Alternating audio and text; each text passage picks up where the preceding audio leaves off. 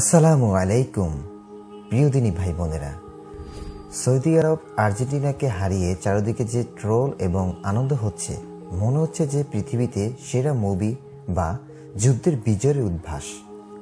কিন্তু বাস্তবে ঘোড়ার টিম। একদিকে সৌদি ফুটবল টিমকে সাপোর্ট করে নিজেকে অনেক বড় ইমানদার ভাবছি। আরেকদিকে আর্জেন্টিনাকে হারিয়ে আমরা মনে করছি শয়তানকে ব্যর্থ করেছি, দাজ্জালকে প্রতিহত করেছি। কিন্তু বাস্তবে কিছুই না। মনে রাখবেন, সৌদি আরব কাতারে গিয়েছে ফুটবল খেলতে। ইসলাম বিজয় করতে না। আচ্ছা বলুন তো, আমাদের দেশে আর্জেন্টিনা, ব্রাজিল থেকে বছরে কয় টাকা রেভিটেন্স আসে? বছরে কয়টা ভিসা দেয়? তাদের নিয়ে এত লাফালাফি কেন করা হয়? আর্জেন্টিনা, ব্রাজিলের পতাকা বাংলাদেশে কেন উঠবে তারা বাংলাদেশের জন্য কি এমন করেছে? এই দেশের স্বাধীনতা রক্ষায় তাদের কোনো ভূমিকা আছে? এ দেশের অর্থনীতিতে তাদের কোনো ভূমিকা আছে?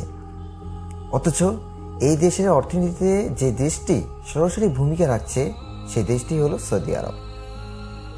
দেশের লক্ষ লক্ষ মানুষ সৌদি আরবে কাজ করে দেশে বিপুল পরিমাণে রেমিটেন্স পাঠাচ্ছে। দেশের অর্থনীতিকে চাঙ্গা রাখছে, আমাদেরকে ত্রাণ দেয়। আর আর্জেন্টিনা, ব্রাজিল তারা তো অমুসলিম।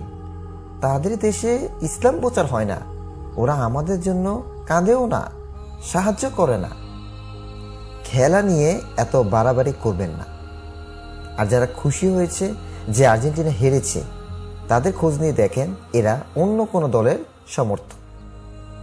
সৌদি আরব জিতেছে সেটা খুশি নয়, বরং আর্জেন্টিনা হেরেছে সেটা আসল বিষয়। আর মনে রাখবেন, খেলা মানে জুয়া। এই খেলাকে কেন্দ্র করে জুয়ার আসর হয়, সময় নষ্ট হয়। এটার মাধ্যমে ইসলামের কল্যাণ হয় না। তবে কাতারে যে কাজটি করেছে তাতে সাধুবাদ জানাই, তারা যে চেষ্টা করছে দাওয়াত দিতে, তবে তাকে আল্লাহ তালার জন্য নাকি অন্য কিছুর জন্য, তা আল্লাহ তালাই ভালো জানে আর সৌদি আরব জিতেছে, তা অন্য কোনো অমুসলিম দেশ হতে